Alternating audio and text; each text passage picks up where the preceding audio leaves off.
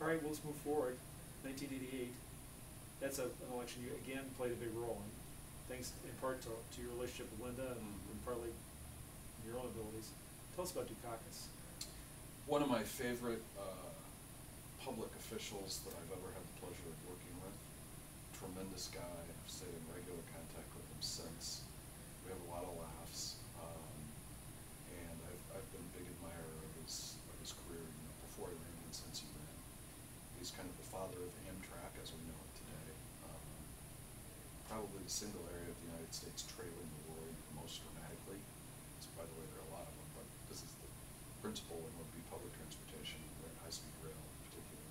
He's been a leader in that. Um, as a candidate, he was very easy to work for. Uh, he was, you know, it's ironic that the thing people remember, there are two things people remember. One is the helmet in the tank, and the other is failing to respond appropriately uh, to uh, the question about if his wife were raped and murdered with sufficient emotion. Um, the thing that's ironic about that line in the debate, or that moment in the debate, was that he had acquitted himself so well in all the caucus debates and all the other debates. Um, he was just very reliable, and the reason was he, he, he knew he knew material and he knew what he believed, and, and he was very authentic from that standpoint. He had uh, group of uh, Boston Pauls around him, um, some of whom have become lifelong friends, many of whom have become lifelong friends. Um, there were two takeaway stunning moments in the campaign. You may remember that there was a time when Newsweek magazine was uh, breaking the story that the Dukakis campaign was responsible for the so-called Biden videotape, which drove Joe Biden out of the race because he plagiarized his Right. speech. Um, and I get a call from Newsweek magazine saying that uh, they were running with the story that I was the one who had given the Biden videotape to David Yepsen on behalf of the Dukakis campaign. And, and the rumor made perfect sense, it's just that it wasn't true. Uh, I found out later that Joe Trippi was the uh, originator of the uh, story. Um, and Dukakis called me on the phone, and he said, listen, this is what Newsweek's got, this is what they're gonna say, um, and I need to know right now. He said, don't, you know, if you did it, that's, you know, that's one thing, we'll deal with it, but I have to know the truth. I said, I, Governor, I didn't do it. If I thought of it, I would have. I don't think there's anything wrong with it. It's fair game. Right. It's just that I didn't do it. He said, well, everybody knows you're close, you know, Yell. I said, I, I I get it, but I didn't do it. I mean, I can't admit doing something I didn't, didn't do.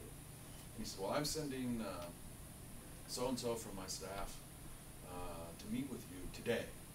And you think about this, and you understand how important this is. Oh. So I said, okay, fine. So he sent one of his top aides out, and, uh, we had lunch, and I explained again, you know, I didn't do it. Well, the irony was, the guy who came out and interviewed me was one of the two guys who did. Oh, wow. Yeah, so, which of course I didn't know that day, or at that time. But, uh, that's the way it all worked out. And so that was a, that was a pretty serious bump in the road, uh, resulted in some staff changes. And, uh, then the next thing that happened, of course, was that Iowa was facing a drought that fall. And, uh, the folks at Iowa State were predicting dire crop impact.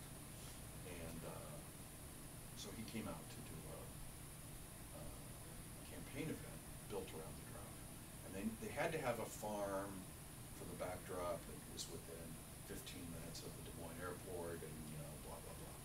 So, somebody calls me and says, uh, that I should come to the Hughes Farm in Warren County and take a look. The setting was perfect, the farmer was perfect, he counted on to say all the right things. Uh, but the problem was that we were five days out from the event, the corn looked fine and I grew up on a farm, I mean, I know Right. healthy corn from sick corn. And, uh, so I said, hey, you know, so they got the experts on the phone at Iowa State, and said, look, here's the deal.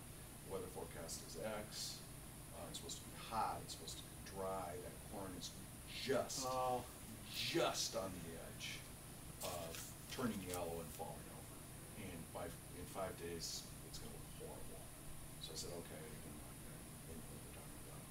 And two days later, unexpectedly, it turns cool, it's damp, uh, corn thrives, it's too late to change the event.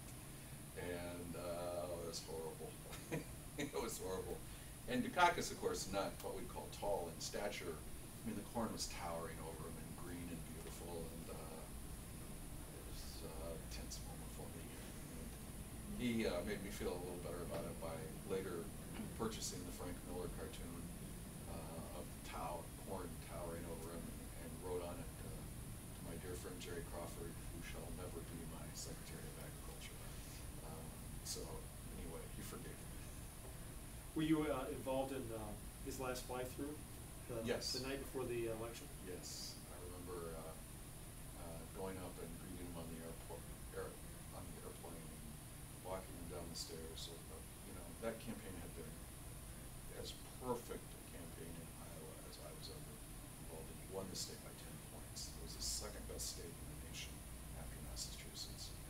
Uh, and, uh, obviously the next day did not go well, but, uh, I was very pleased with what happened too.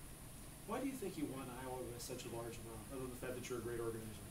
Well, he'd spent uh, hundred and some days here in the caucus campaign. People knew him. Uh, they liked what they knew. Bush had done that too. Uh, not as much. You campaigned here. But he was here, yeah. Uh, the second thing is that the only issue the Republicans ever really started to penetrate on was law and order, whether Dukakis was tough enough on law and order. So what we did was we brought in a fellow by the name of Carmen Massimiano, who was the sh- sheriff of, of uh, Berkshire County, Massachusetts, former president of the National Sheriff's Association.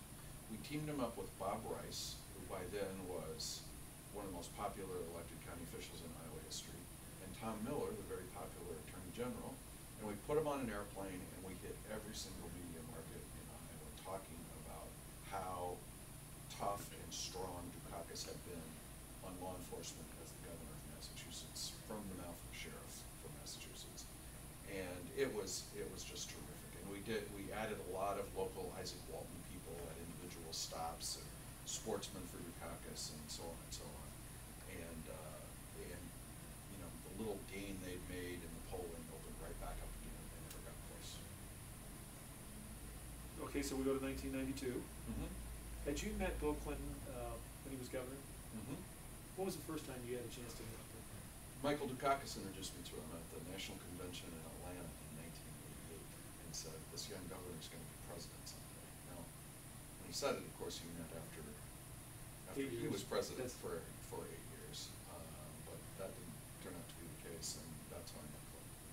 And he, that's when he did the nomination speech for Dukakis that went on forever, or is that, Uh, yeah, yeah, he actually gave the keynote oh, the keynote address? Uh, yeah, and I met him when he was there to practice, that speech, and, uh, but he managed to make lemonade out of those lemons, uh, as well by, uh, going on Johnny Carson and, uh, playing the saxophone, and boom, he was back. Yeah. Took, that took forty-eight hours. Yeah. Um, and it was, uh, a look into the future, his ability to turn things around. Yeah, always came back. Yeah. So in, in nineteen ninety-two, we have a caucus here in the state of Iowa with Tom Harkin's running. Mm-hmm. Did anything happen significant in the state then, uh 'cause cause Clinton, you know, was available if they wanted to nominate him as well? Uh, the other candidates all, in the final analysis, decided to bypass. Mhm. The three of us that were closest to Clinton at that stage of the race were the late Ed Campbell, uh, David O'Brien from the Woodbury County O'Briens, even though David's for, been in Cedar Rapids for a long time, and myself. Uh, and the other candidates all passed up. I had a lot of respect for them. Do you remember anything significant about that campaign that you wanna share with us? Well, there are a lot of things that we all remember. I, I mean, proof of how incredible his uh, comeback powers were uh, would be, you know, the, the Gennifer Flowers Yeah. audio tapes. Uh, That was huge. Three weeks before the New Hampshire primary, and coming back from that. Uh, a service letter. yeah, uh, and it continued on into the spring.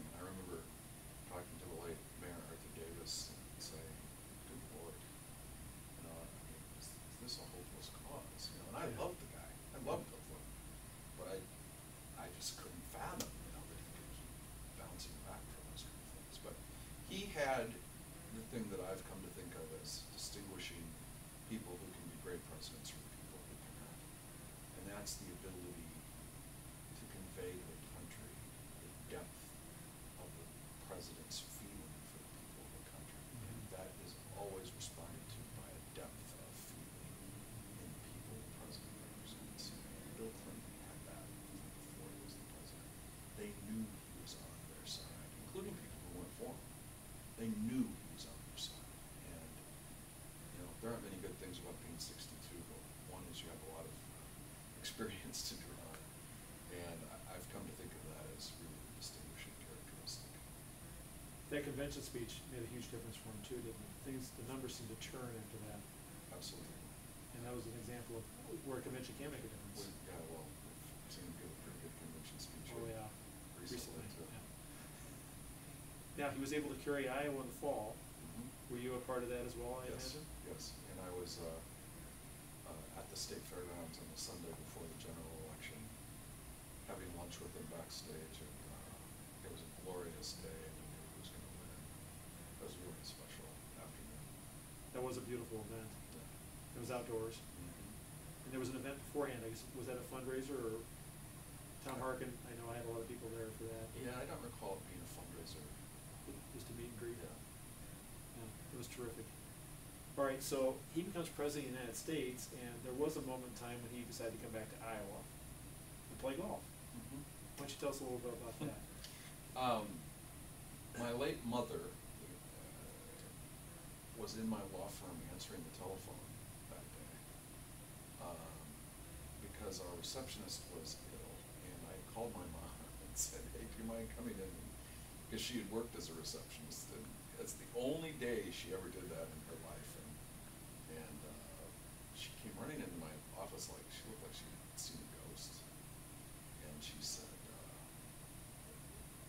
Air Force One is on the phone, and they say the president wants to talk. I said, well, let him. I mean, what, what, is there a question here? I mean, what's the, you know, and she just sort of was flustered by the, by the whole thing. And, and he said, uh, he was, he had just finished the, uh, speech in Oklahoma City, uh, after the bombing there. He went to the memorial service and spoke at the memorial service. And the truth of the matter is, he was just drained from the experience, emotionally drained. And, uh, he was coming here, uh, anyway, and he said, uh, hey, can we throw together a golf game? I said, sure, no problem.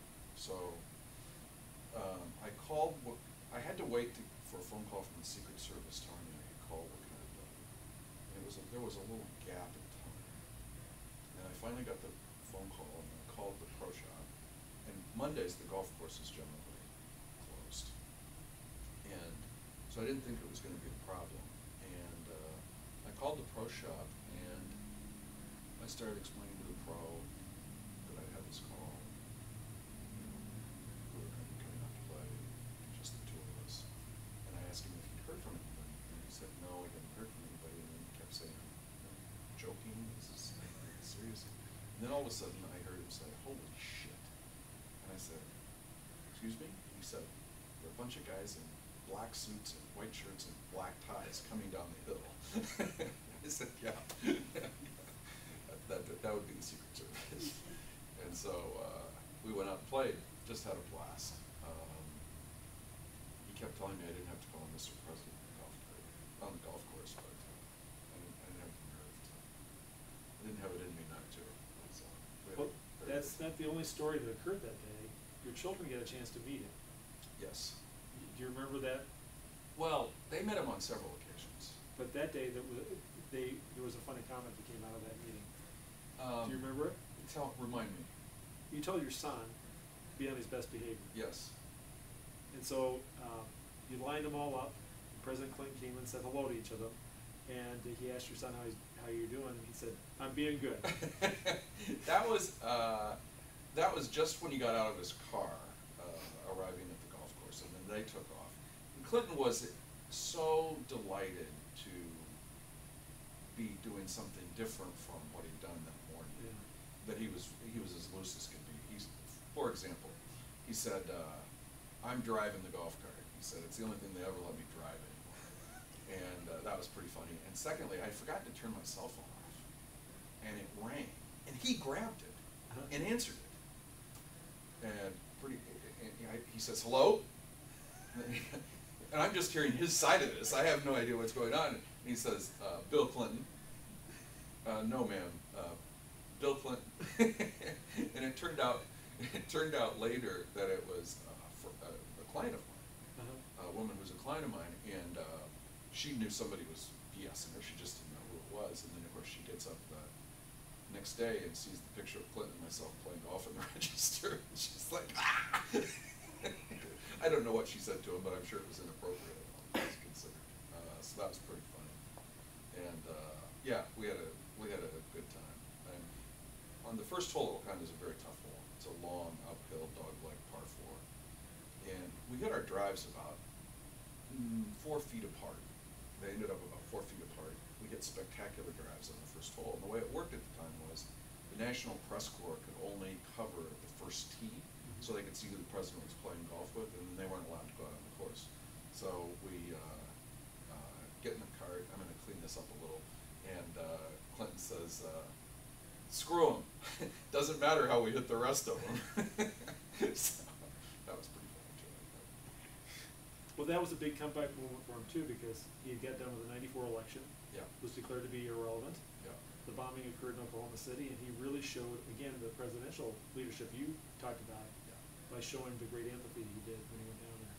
He also uh, was able to, uh, with the loss of uh, the House in the Congress, he was able to avoid some of the extreme pulls on him politically and able to chart a slightly more centrist, co- centrist course, and that was very key to his success as well. Were you actively involved at all in the Gore campaign in two thousand? I was the, I was the state director for Gore, yeah. Um, I would say, since I assume candor is okay in this format, that he, he turned out to be the most disappointing, um, candidate I ever worked with. Um, he was personally difficult, he was professionally difficult, and he had almost no of that commodity I've already talked about, that Bill Clinton had in spades. Um, He was, uh,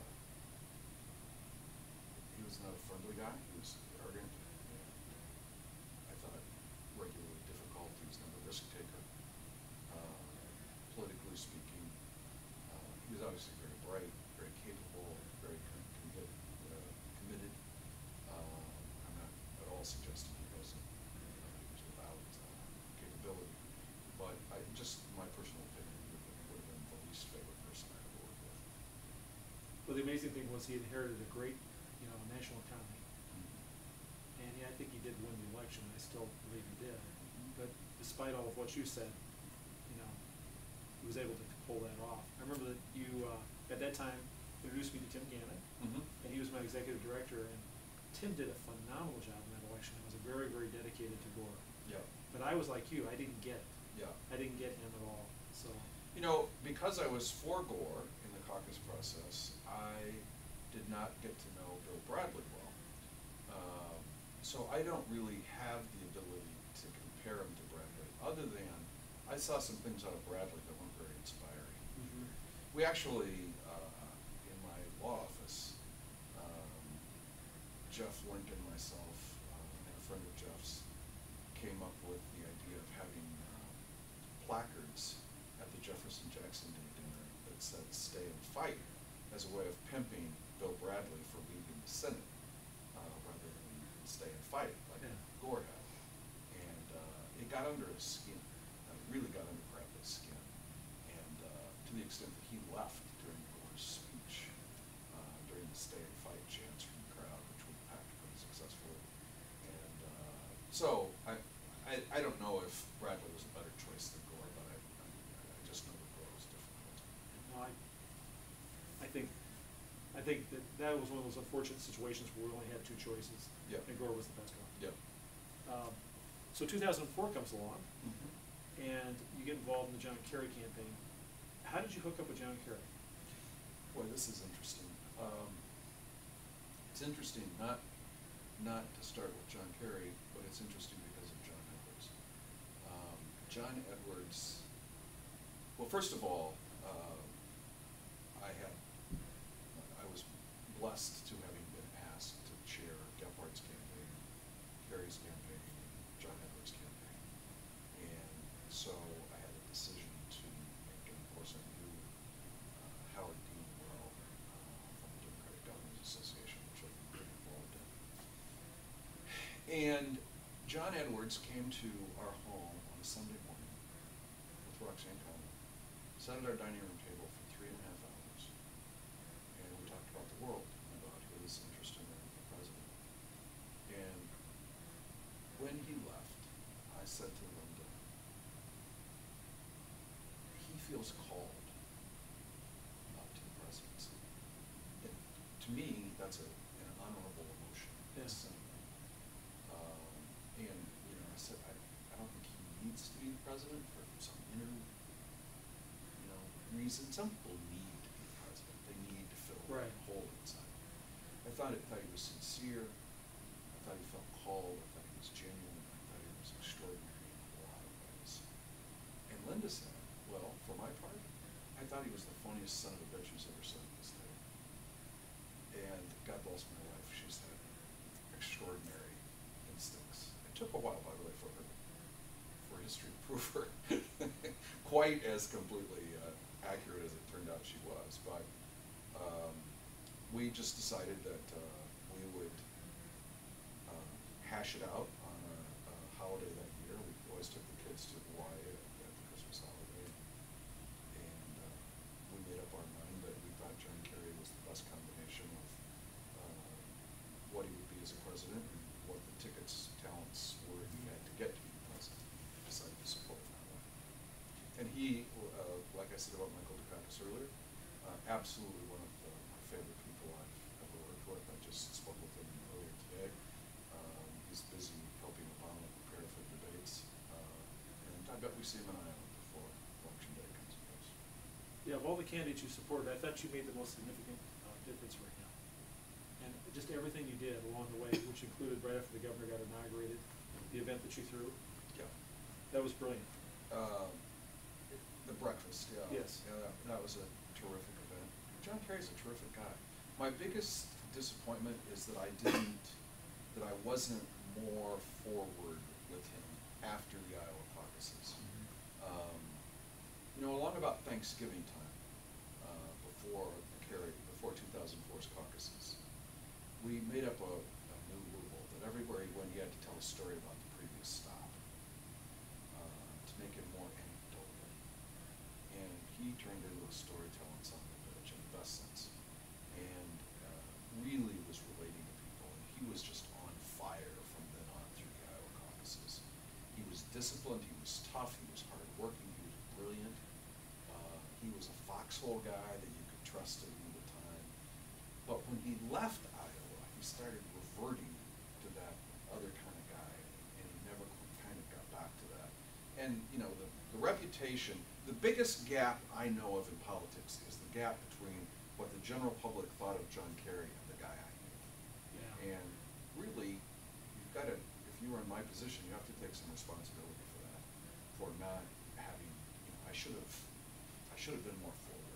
I actually sent a memo into the campaign telling them that I saw that drift occurring. And he, his brother showed him the memo long after the election had come he was a little more irritated with me for not having more aggressive about it. Let's talk about two important moments during that campaign. I want to find out if you have any recollection of any involvement. The Swift boat stuff, the Mhm. slow response. Mhm. Did you do anything in that or involve in any conference calls in that?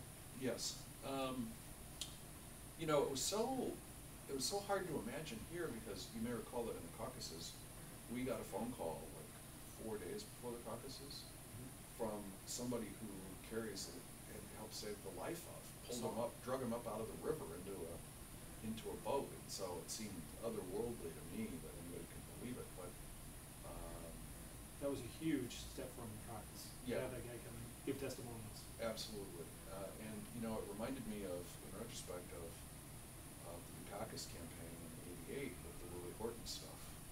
Um, people had trouble taking it seriously, and yet the lesson was learned, you can't let that sort of thing go unabated. On the Swift boat thing, did you, did you urge a quicker response? Uh, I think that, I think, I, I think that most of us did. Yeah. Uh, but again, it was, you know, there, there had been several changes in the top in the campaign leadership. And, uh, as has too often been the case lately. All right, let me ask you about another important moment. This is something you talked a little bit about before, the weekend before the election occurred. Mm. Um, Bin Laden come out and said, I'm still here, I'm still alive. Yeah. Yeah, I'm sighing because I just had this conversation with John Sasso, who was the campaign manager down the stretch. Uh, I just had this conversation with him a few weeks ago. Um, And he- here's the deal. John Kerry was in Madison, Wisconsin on Friday before the Tuesday general election. The Osama bin Laden tape came out on Thursday. He was in Wisconsin on Friday. He was coming to Des Moines on Saturday to do a speech over at the, over at the state capitol. Um, and I called first Sasso and then I spoke to Kerry and I said, when, when you get to Iowa, I want the first sentence to be, before I begin today, I have one thing to say to this country. When I am your president, with every single breath I draw, I will commit the United States of America to finding and executing Laden. Um, Because I thought the country, after several years of Bush failing achieve that, needed to hear that John Kerry was adamantly committed to that course of action. And it created a big debate inside the campaign, and the pollsters convinced Kerry that he had it wrong, and that while it might be a good line, it had a little risk associated with it, and that he didn't need to assume any risk because he was going to be elected on Tuesday if things just continued as they were. And so that was the decision that was made, and I, I felt, I had a horrible feeling all day Saturday that we were pursuing the wrong course. Now, I can't sit here and tell you it would have been different if he had uttered the line, but I sure, I sure felt it in my bones. All right, um, let's talk about two thousand eight. You're actively involved in Hillary Clinton's campaign. Uh, what do you recall about that whole process from the caucuses? Any lessons learned from that, or? Well- you're trying to break the glass ceiling again, like, like you Yeah. noted before. Yeah. Um, what I would say is that I really can't think of a single person who's more responsible for, for her defeat than me. And here's what I mean. One thing I've never stopped doing in caucuses is door knocking. I do it for my own peace of mind that I'm not missing something. And I knocked on several hundred doors in the weeks leading up to the caucuses, but I was only knocking on the doors of Democrats and of independents that occasionally showed up at Democratic caucuses. I didn't knock on the doors of any independents that don't go to the caucuses or any Republicans. And I knew she was gonna clobber. And, uh, what I didn't anticipate was that people who we now refer to often as the Tea Party people would show up angry at the caucuses that night and support Barack Obama. Obama was at a point in his career where you could make him into anything you wanted him to be in your own mind. Um, and people were angry and desperate for change, and Obama was a perfect vehicle for that. Yeah, and people, people remember the hope part, when in fact it was the change part. It was, it was a, the ultimate change election. And I just, I'll never make the mistake again of, of only knocking on Democratic doors. And when Ann Selzer's poll came out on the Sunday before the caucuses, I was like, that's exactly what's going on. Know, that's, it's gotta be what's going on, because A, I know she's always right, right? Um, and I called her up because I, I wanted her to be wrong, and I was probing to figure out, you know, if she could be wrong. And I could tell she was c- completely confident that she was right, and that we were gonna get a wave of people none of us had ever seen before, and it's exactly what happened. So I, you know, I feel, uh, I feel a lot of responsibility for that failure. Time we got left? Uh, if you, if you had to do it all over again, what would you have done differently to change that scenario? Um, I would have vetoed some of the crazy advice she was getting from her pollsters, uh, and advocated, uh, that, that she needed to be more of a change candidate herself. She had an instinct that she did need to be, you know, because her name was Clinton, because we had Bush, Clinton, Bush, she was being held accountable for the sins of those three predecessors. And, uh, against, there we go again with the Democratic Party, something shiny and new and irresistible. Okay, um, I don't know how much time we have left. Who, who do you see to be watching for the next caucus as an emerging candidate in the Democratic Party for president? Well, I think, I think that it's her nomination if she wants it, and I hope she wants it, and I think she would be a sensational if for whatever reason she said she doesn't want it, then I think you have a, a long list of, of people who have potential. Uh, I think Mark Warner uh, is high on